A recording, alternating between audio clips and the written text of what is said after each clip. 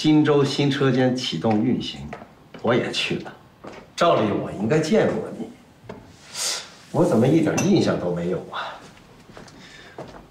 我对李斯的印象很深，还跟您握过手。哦，是吗？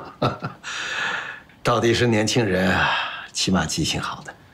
李司长，我今天来找您，是有件事情想请您帮忙。听到东海项目批不下来的消息了？是的，我听说了。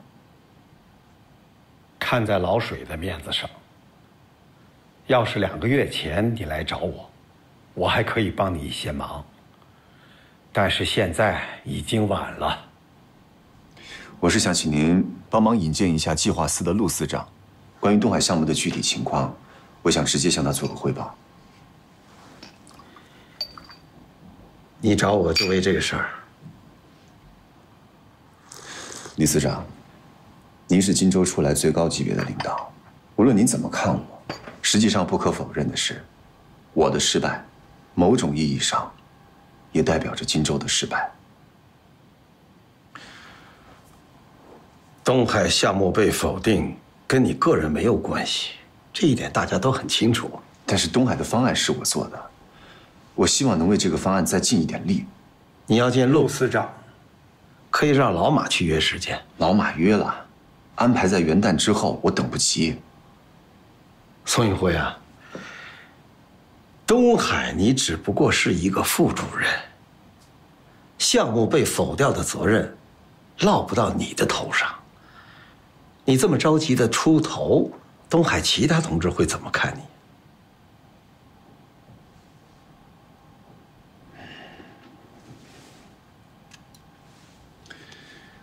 李四，您知道，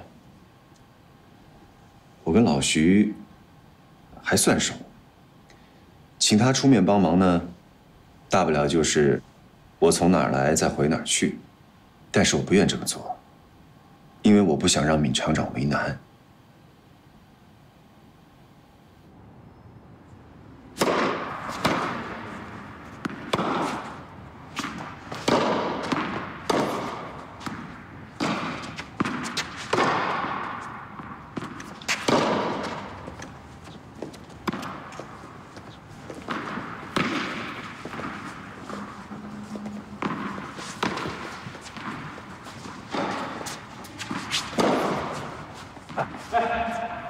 这位师兄啊，来了个朋友。李斯，哎，下来打一场啊？今天行头不对，就不打了。听说您弄了一个专业的拍子，拉了多少磅？五六十吧。我不像你这么专业，具体多少我也不知道。其实五十就行了。您啊，速度和反应都不错，就是力量稍微差了点。陆四，他是我电话里跟你说的宋运辉，也是荆州来的，啊，老水的得意门生。他说有事情找你汇报。你好，你好，陆司长。好，你们接上头了，我有事先走一步。哎，那我就不送您了。嗯，再见，李四。坐吧。哎。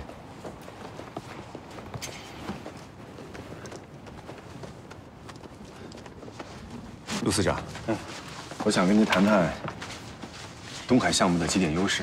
啊，你那个方案我看了，在设备环节技术层面做的不错，按照你的设计目标，投入产出比也不错。是，陆司长眼光独到。呃，这两点都是我在方案中比较自信的设计优势，再加上东海靠近天然良港，将来在原材料运输的成本上和产品出口上也会具备一定优势。跟谁比有优势？国内其他同类型的化工项目。劣势呢？考虑过吗？辩证法无处不在，有优势自然就有不足。东海是个新厂，前期三通一平地下打桩投入资金量较大，加上码头等配套设施，设备成本回收要算到五年以后。还有吗？东海要白手起家，管理和技术人员都要从系统内借调，存在一定的磨合成本。但是新厂有新厂的优势啊，包袱小，存量少，前进的动力会比较强。还有一点，你们的设计产能只有三十万吨，滨城接近你们的一倍。但是滨城的运营成本比我们高啊，加上自身老企业养老、社保等方面的压力，东海的产出比率不比滨城低。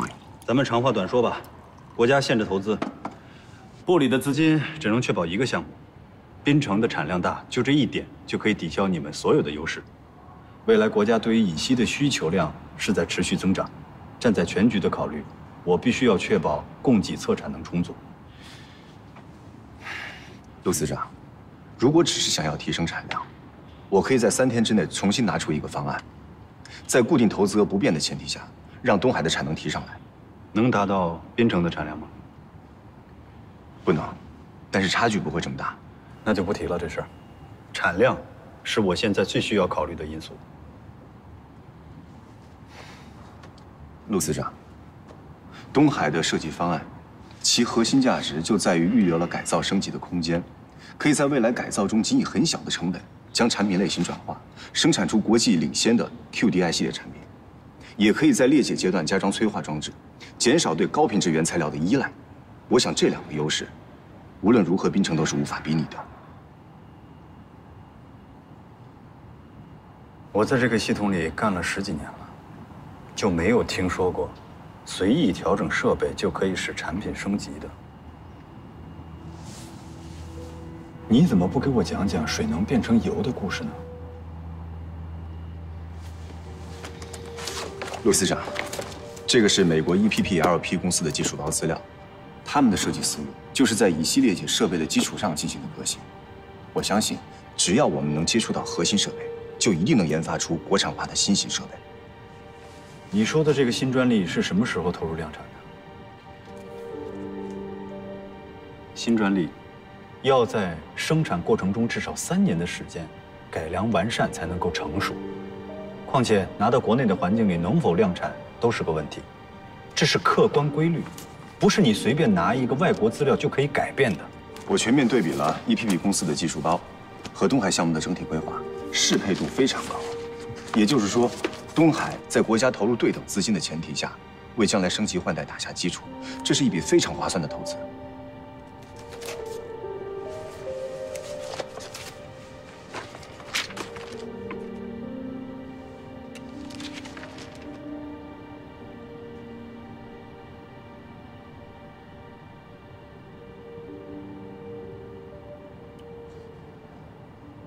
这样吧，你把这个 EPP 公司的资料包，还有你方案里关于预留设备升级的想法，都拿给滨城，让他们借鉴一下，优化一下他们的方案，为将来产品升级换代打下好的基础。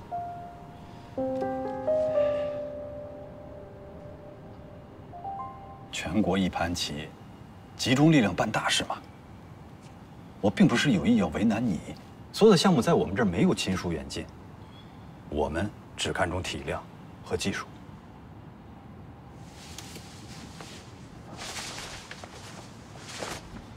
滨城是老企业，原有的配套设备很难进行全面优化，将来的发展肯定赶不上东海。在系统里没几个人会这么硬顶我，你知道吗？我知道。我不是有意想冒犯你，我只是想跟你陈述东海的优势。这样吧，你把组织关系跟老李说一下，调到滨城去，你的技术优势在那儿一样也可以发挥。陆司长，东海作为新型企业的优势，在未来一段时间一定能发挥超出我们想象的能力。不说别的，单就深水码头这一点，就能让东海超过国内其他的老企业。这么看不上老企业，你不也是金州出来的吗？正因为我出生在老牌企业，才最知道其中的艰难。目前国家投资建厂，我们应该把钱花在刀刃上，组建新型企业。行了吧，别说那么多大道理。你是想说，像滨城这样的老企业，领导层的位置都已经坐满了，你这个外来的和尚不好念经是吧？也难怪，技术出身的干部这么想也不为过。陆司长，我可以把美国公司的技术包和我所有的艺稿以及设计思路都交给滨城。我顾虑的仅仅是冰城能否适用这个思路而已，其中并不涉及我个人的未来。我看你是个难得的人才，加上老李和老水的面子，才给你这个机会。到东海没几天，还处出感情来了。算了吧，我从来不勉强别人。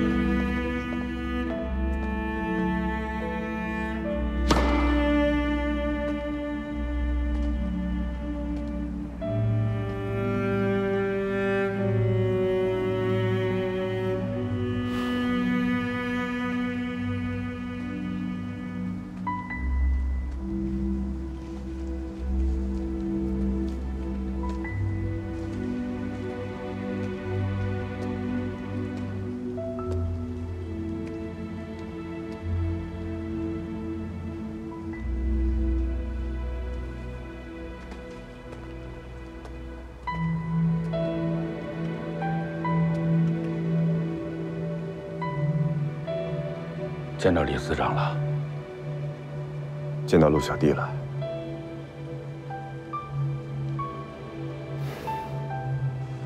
他坚持要批兵长，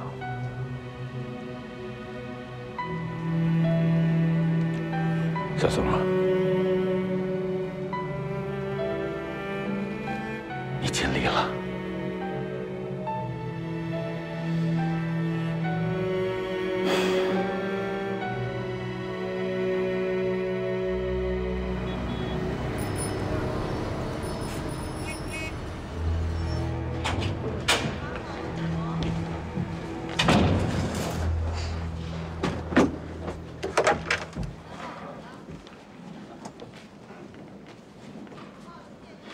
老徐吗？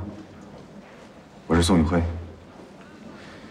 您那边现在是晚上吧？要是时间方便的话，我想向你请教几件事。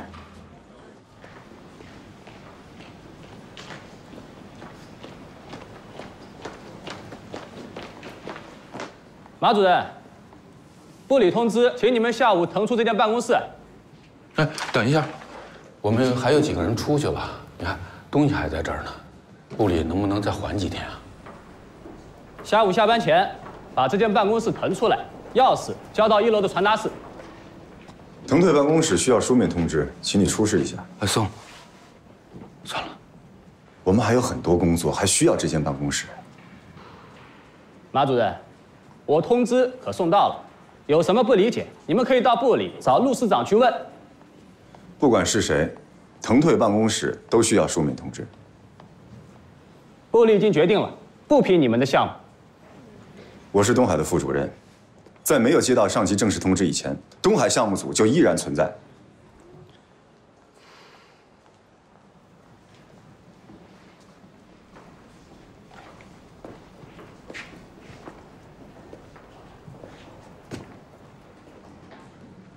宋主任说的对，东海在没有接到正式解散通知之前，我们就还要在这办公。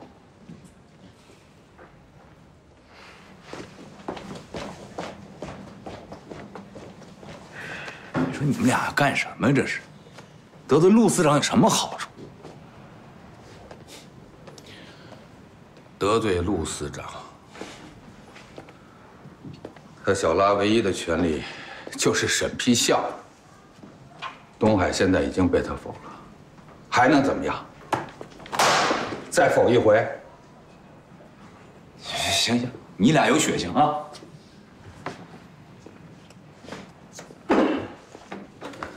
血性顶有什么用？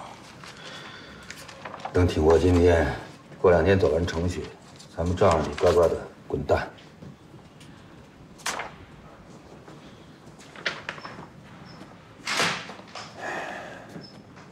老马，东海未必救完。你说什么？根据通知的精神，凡属于填补国内空白的重点化工项目，都在可报批的行列里。苏总啊，那咱们这个项目能够填补国内空白吗？现在还不能，但是我有把握。给我几天时间，对方案进行调整。那怎么不早说呀？那陆司长已经得罪了，现在你再调整方案拿上去，谁给你报批呀？现在这个局面，部里只能上报一个项目，咱们必须绕开部里，去经委、科委这些综合性部委进行单独报批。那么陆司长就管不到我们了。我已经这样决定了，如果你们不支持，也可以继续去办理调动手续。不是不是，宋宋宋，你绕开部里去外面报批，你这是要跟全系统对着干呀！就算你报批成了，在咱们的体系里也没法立足。所以我说了，你们可以去办理调动，我不强求大伙跟我一起冒险。你这，这哪是冒险？是，你这就是趟雷。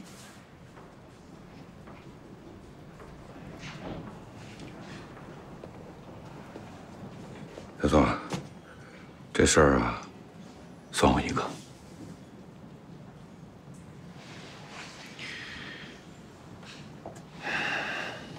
老马，你可想清楚了，万一事情失败，后果很严重。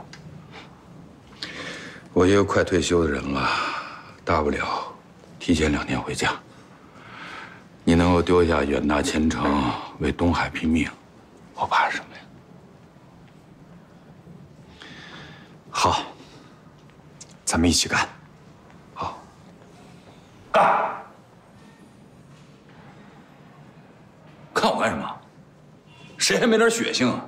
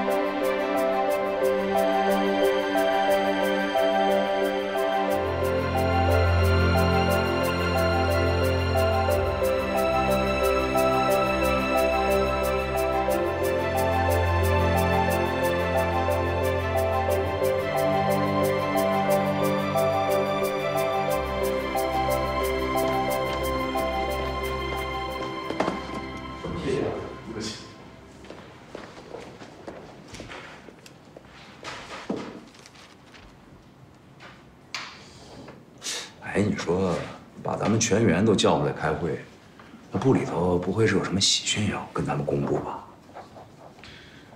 等一下就知道了。哎，你这人就不厚道了，看你这表情，肯定是知道你不跟我们说。不是怎么着？你闺女是不是不想嫁我儿子了？以后？老韩啊，你这傻话吗？人小宋的千金三岁不到，你儿子都上初中了，不是这玩笑开不得啊！小宋你要嫁也得嫁我儿子呢。是是是，我跟你说，这儿子我见过，不行不行，配不上咱家闺女。关键我儿子是早上了一年学，所以说上了初中。你说合适合适，年龄特别合适。老韩，哎，注意场合，不要乱开玩笑。哦哦哦好。马主任，不是让咱们九点来开会吗？您瞧，这都快十点了，这领导一个也没来。通知是九点，也许领导还有别的事儿。要不马主任你去问问吧，什么情况啊？这是，该不会咱们项目又有什么事儿吧？可千万别有什么变化了，我这心脏真受不了了。要我说，都别操心，也别担心，啊，能把我跟老高这已经调走的都给弄回来，这项目肯定是批了嘛。哎，这次啊，亏了马主任还有小宋，力挽狂澜救了咱们东海。哎，今天晚上啊，我请大家喝酒，一个都不准少。老高啊，功劳啊是人家小宋的，我可什么都没干啊。功劳是咱们整个项目组的。哎，小宋，我就佩服你这点，打心眼里佩服，居功不傲。哎，我要是早知道你们能挽救东海项目。老高，啊，咱还瞎折腾啥嘛？就是，你说这掉到哪儿能咱们东海这工作氛围？哎，没事没事啊，后悔还来得及啊，还来得及。哎，周组长，周组长，呃，东海项目组的人都到齐了。好，坐，都坐。坐着。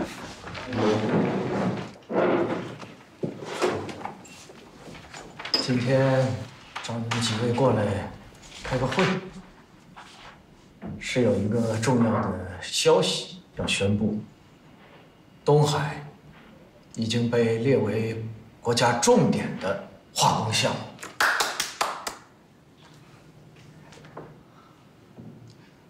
今天算是正式启动。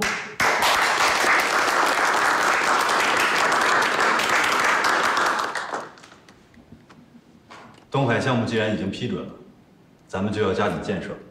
李四去开会了，委托我来宣布一下部里的任命。马宝平同志任东海化工厂厂长兼党委书记，韩泽刚同志任东海化工厂副厂长，负责技术设备。高祥荣同志任东海化工厂副厂长，负责组织人事。刘玉海同志任东海化工厂副厂长。负责财务，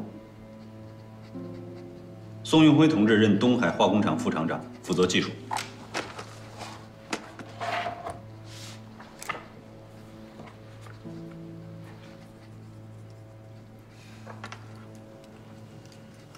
感谢上级领导对我们的认可，我们一定把东海建设成一流企业。项目批了，东海半岛的。打桩施工先头部队也得动起来，所以部里决定这件事情就交给宋运辉同志负责，其他的同志暂时留在北京，和设计单位对接，跟部里专家协同设计方案，先把春节过了，等过完年就正式开始工作。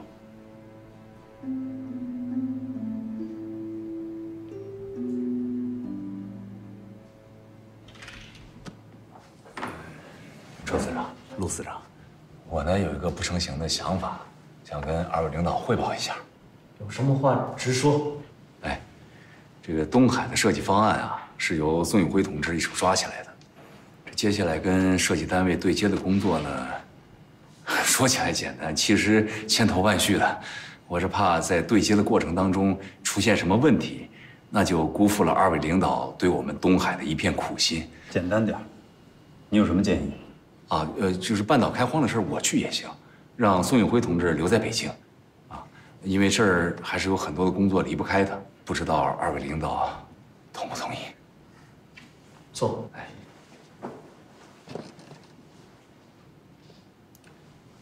老韩同志，这一份愿意去一线苦干实干的精神，是好的，啊，但是你们几个人的工作范畴，部里头。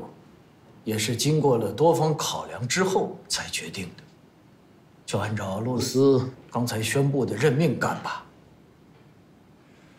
我服从组织安排。好，下午你就去订票，早一天到东海，就早一天开工。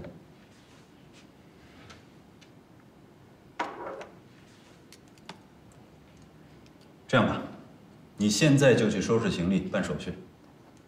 接下来的会议是关于外商洽谈设备进口的，你就不用参加了。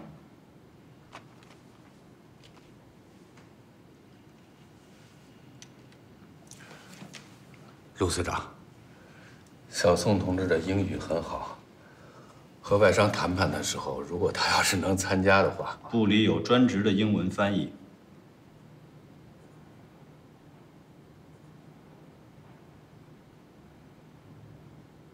你去吧。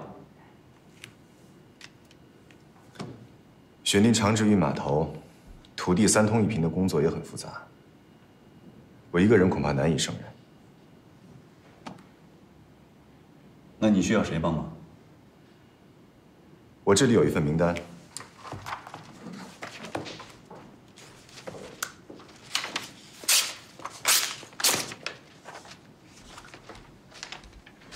这些都是当初参与兴建荆州新车间的骨干。我希望部里领导能把这些人调来东海。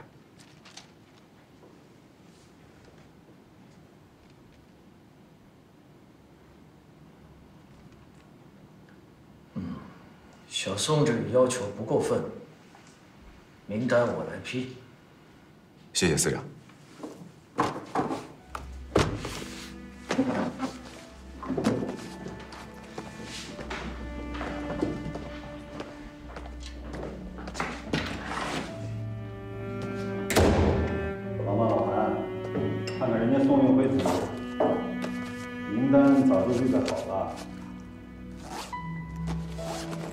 这才有个打硬仗的样子。你们几个可落后了啊！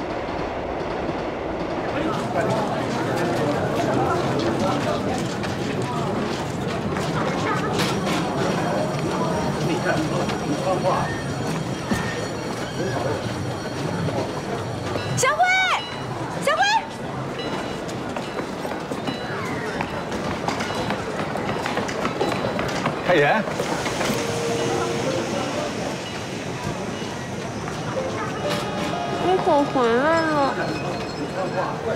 怎么了这是？让你等太久了。没有，我出门出晚了，还差点坐错车了。不是的，你这不没来晚吗？那我都快担心死了，我就特别害怕，万一你下了车我还没到怎么办啊？那我就等你呗，又不着急的。不行，我得让你一下车第一眼就能看见我。你这身衣服啊，不管是谁都能第一眼看到你。我这个不好看吗？我这个外套是我嫂子专门从上海带回来的，我出门挑了半天呢。好看，你穿什么都好看。嗯，走吧，回家吧。累吗，路上？还好，哎，北京挺冷的吧？我买的那个面包服你穿了吗？穿了。北京吃的比荆州好吧？食堂的饭都差不多，没什么特别的。你再出差带我跟小颖去吧，听说北京小吃特别好吃。等着不忙了，专程去吧。一会儿回家给你个小惊喜，什么惊喜啊？你猜？我不告诉你。来，给我吧，你去开门。啊。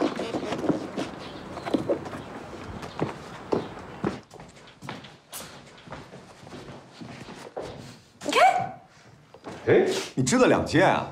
对呀、他们说这个叫情侣款。那你这个怎么织的那么合身呢？你那怎么了？您看我这绣的，哎，不应织的时候我量过的呀，怎么会差这么多呢？哎没事，洗凉水就好了。哎，这还没事儿呢，你知道吗？我都想好了，咱俩去东海的时候一起穿。你这个呀，就要带着发展的眼光帮我织毛衣。你想啊，洗凉水之后缩了，不就正好合身了吗？对不对？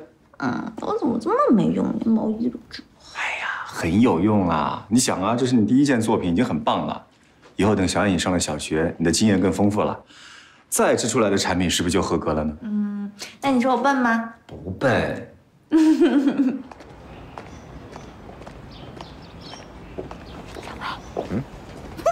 小辉，阿言，来帮忙。哦哎，爸，大哥，爸，你这是买的什么？给我买的还是给小姐买的？哎呀多大的人了，还跟你女儿争，真是。还笑得出来？这是爸一辈子的家当。什么意思啊？老闵逼着爸退休了，这是爸办公室的东西，用自行车驮回来。爸，你退休了？你什么时候退的休？我怎么不知道？哎，爸，咱先回家吧。走走，回家再说。哎你不知道拿着呀？来来来，放这儿，放这儿。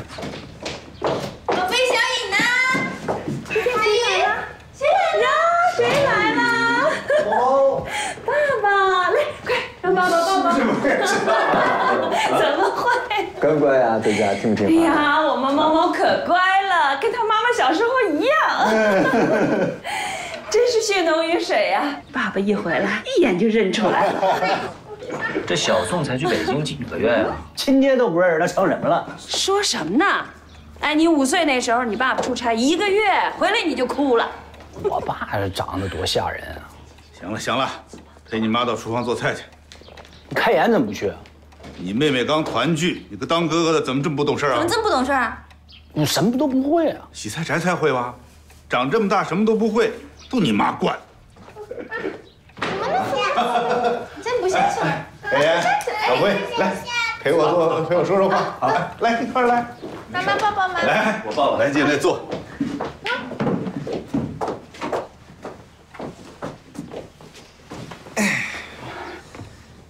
想不想爸爸？闺女还是跟爸爸亲。对呀，闺女还是跟爸爸亲。爸。这次退休是厂里定的，怎么之前也没听您提起过？挺好的，也到了该退休的年龄了，想一想天伦之乐挺好。对呀，我早就想让你退休了。你说你在家里面带带小颖，陪陪我妈，这多开心呀，是不是？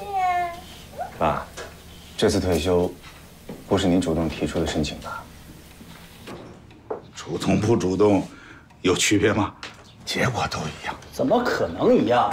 你是金州的厂长，这才一退休，人没走呢，茶凉了。闵中生就是欺负老实人。闵中生怎么欺负爸爸了？你刚才没看见啊？今天爸退休，厂里连台车都没派，这么多东西我用自行车驮回来的，这不是欺负吗？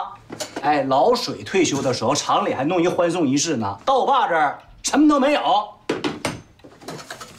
千里呀！你说话这么大声音干什么？把猫猫吓着了。呃，猫猫，对不起啊，以后大舅说话小声点啊。去厨房给我看锅去。走了，猫猫，外婆带你吃苹果啊。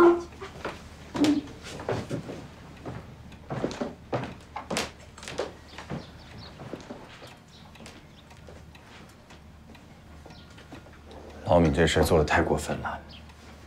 按照荆州的传统，不应该这么对待老领导的。没什么，其实我一点都不在乎。那闵中生真是的，他也有退休的一天，他就不想想到时候别人也这样对他吗？嗨，咱们今天不说这些扫兴的事儿啊。那你最起码有个欢送仪式吧？你想想水伯伯退休的时候，那是不是还有仪式呢？他这叫什么事儿啊？我和你水伯伯不一样，他只是小辉的师傅。闵中生，真是针对我。之前电话联系，他态度还挺好的呀。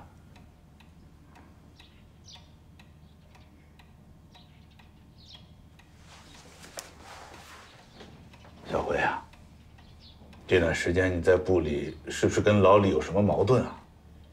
按理说你们东海项目批了，那你的地位也是兄弟单位的领导。闵中生不该做的这么绝啊！和老李倒没什么关系，估计还是老李背后的那个小拉。你们东海这个项目的报批，走的不是小拉的路子？是通过其他关键部门把项目批下来的。那就难怪了。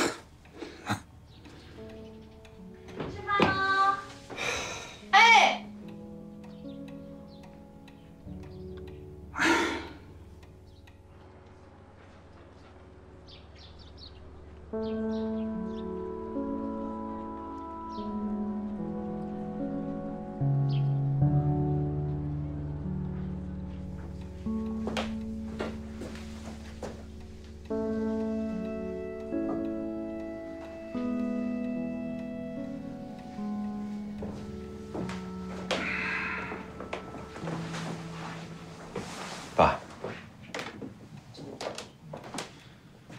我考虑了一下，我觉得我还是得去找闵中生一趟，跟他好好谈谈这事儿，不能因为我的原因让您受牵连。这件事真是让你为难了。不过你真要去的话，就别提我的事儿，就提一个要求，给你大哥换个好点的部门。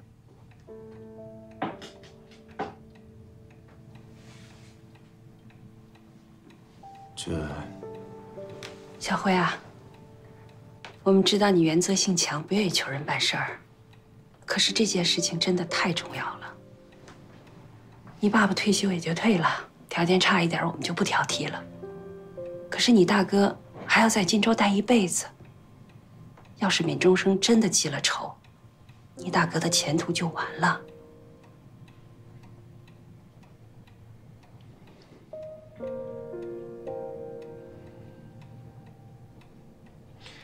我这就去找闵中生去谈谈。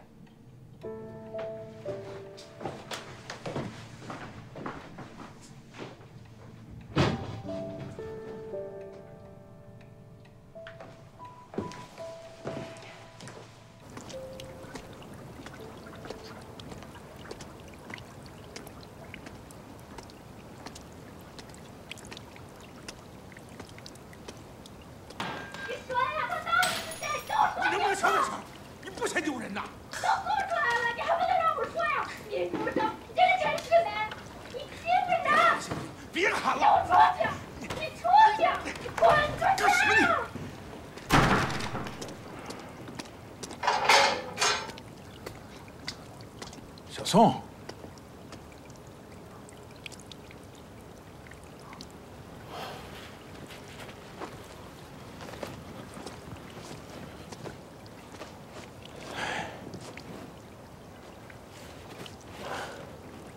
一块走走。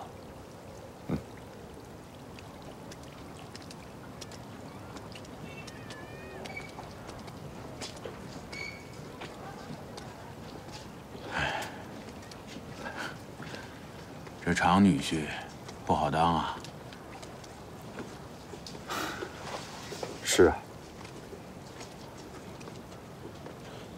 今天刚到，下午到的。哦，你们家小程没闹你吧？没有啊。他为什么要闹？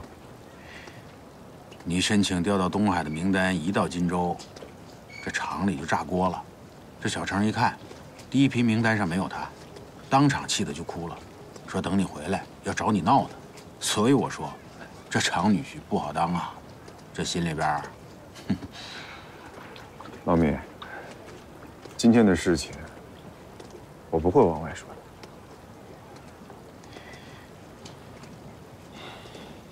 谢谢啊。什么事儿？说吧。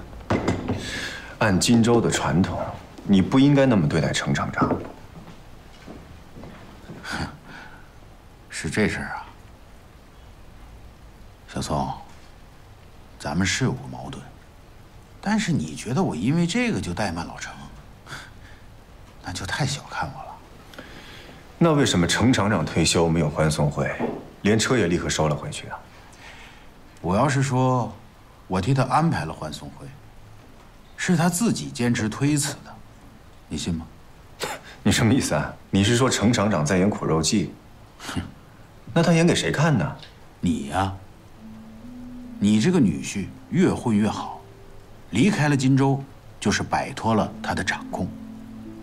想要让你继续为程家出力，过去的方式不行了。老程非常了解你的为人，他想让你觉得你亏欠他们程家的，这样你以后什么事儿都会替他们做了。老米，就像我不愿打听你们家事儿一样，程家的事也不需要你来分析。好，我不说了啊。老程以后的待遇呢，我就按照正常的厂领导退休的标准处理，这样行吧？这算你的分内事，我就不谢你了。哈，那你的意思还有别的事儿？程千里想要调出那萧科，哎呀，你这个大舅子啊，本事不大，脾气不小，这几年可以说是把荆州好的部门轮了一圈，把能得罪的人呐都得罪光了。现在他老爹退了，你说哪个部门能要他？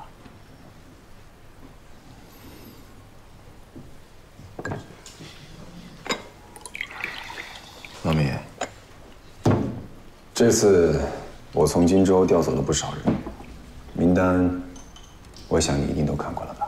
哎，小宋，你调人的事儿，我可是全力支持啊。嗯，我调走的都是当初新车间我一手提拔起来的骨干，他们去了东海，就能把荆州的优良传统带过去，这也就是你说的开枝散叶。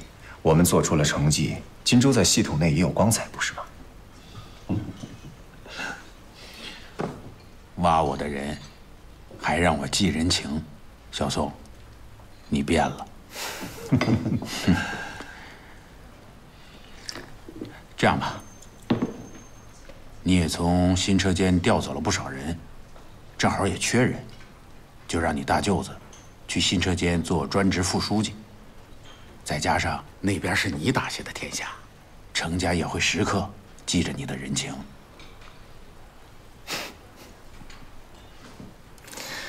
这个主意啊，也只有常女婿想得出来。